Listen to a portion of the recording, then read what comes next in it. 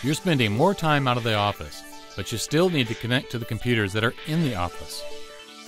By using Windows 7 Professional with remote desktop connection, you can access documents and programs on a remote PC. Best of all, the whole process is typically no more difficult than logging on to your local PC. And after you connect a remote PC, you can use it as though you were sitting right in front of it. Remote desktop connection helps to put you in control of your remote computing experience, right down to choosing how many colors to display.